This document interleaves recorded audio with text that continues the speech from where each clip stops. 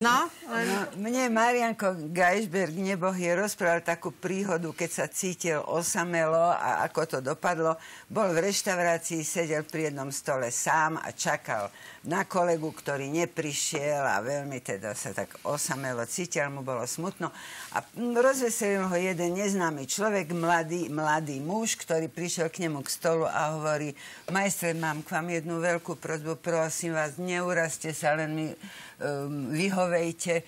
Viete, tam vľavo pri tom stole sedia moji budúci svokrovci a moja teda budúca nevesta a ja som ich oklamal, proste som sa chvastala. Povedal som im, že my sa poznáme a že dokonca sme aj kamaráti.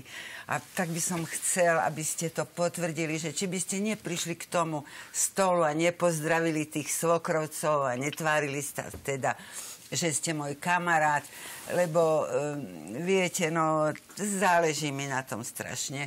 Ináč volám sa Peter a ja viem, že to zvládnete, však ste dobrý herec, tak to zahráte, ak nič.